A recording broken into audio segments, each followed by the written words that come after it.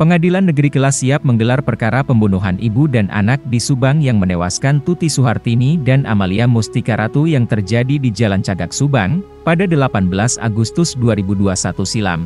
Humas Pengadilan Negeri Subang Muhammad Iqbal mengatakan, Pengadilan Negeri Subang sudah siap menggelar sidang perdana kasus pembunuhan ibu dan anak yang terjadi di Jalan Cagak, Sidang akan digelar Kamis, 28 Maret 2024, mendatang dimulai pukul 9 WIB di ruang sidang kantor Pengadilan Negeri Subang.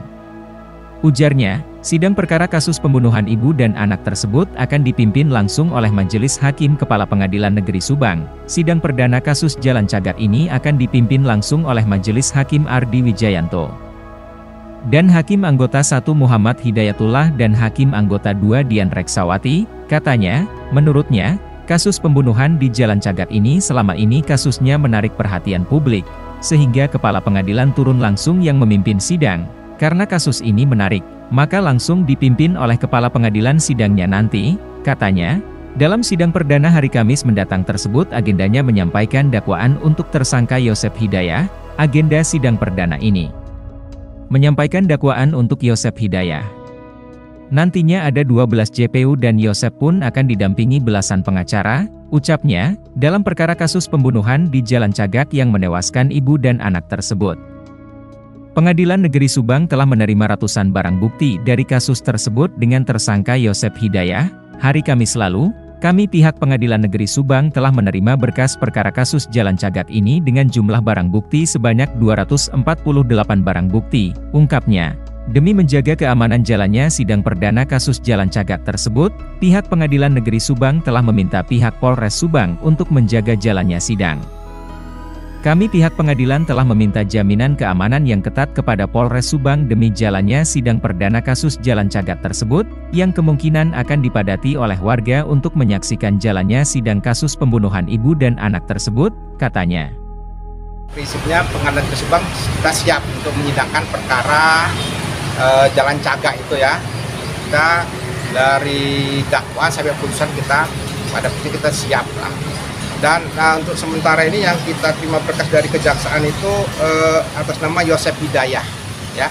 Jadi sidang itu akan dimulai tanggal 28 hari Kamis ini ya bulan 3 2024 hari Kamis ya jam 9 lah gitu ya kita sidang itu sidang sidangnya. Kemudian hakimnya yang akan menyidangkan itu adalah pertama itu uh, ketua majelisnya uh, ketua pengadilan negeri Subang ya. Pak Ardi Wijayanto SHM Hum ya. Kemudian hakim anggotanya itu anggota satunya Muhammad Hidayatullah SHMH dan kemudian anggota duanya Dian Meksawati SHMH nah seperti itu.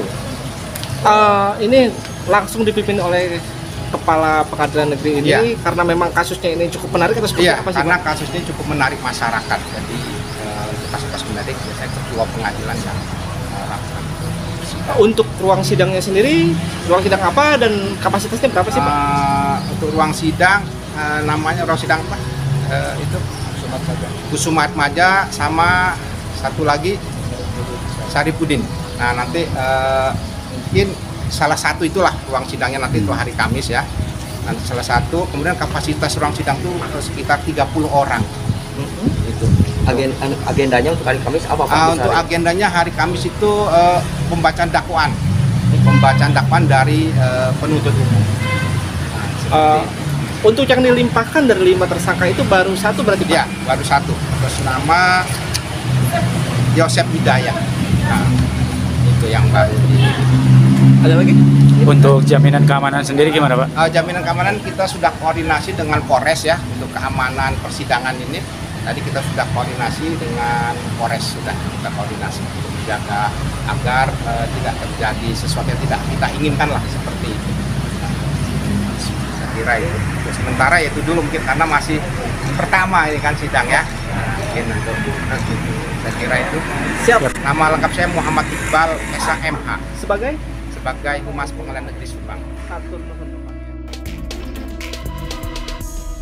Jangan lupa like, subscribe, dan share ya.